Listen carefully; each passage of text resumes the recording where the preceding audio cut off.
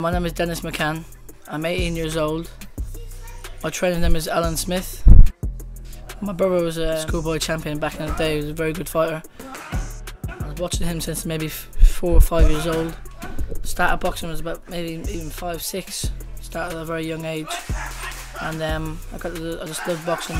I'm, I'm boxing mad since maybe five, six years old. Proudest performance to date.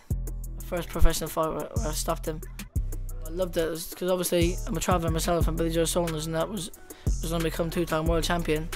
And then there's some other, William Hutchinson who's number one on there as well. There's loads of all of us like all together. Like there's English travellers, Scottish travellers, Irish travellers. We all we all cheer each other on. I reckon that's gonna be one of the best ones to date. If you, uh, I, I fought the O2, I fought at Stevenage, um, I fought in Belfast in Philly, Philly show. Um, I think this one's probably going to be the best one to date. It's old fashioned.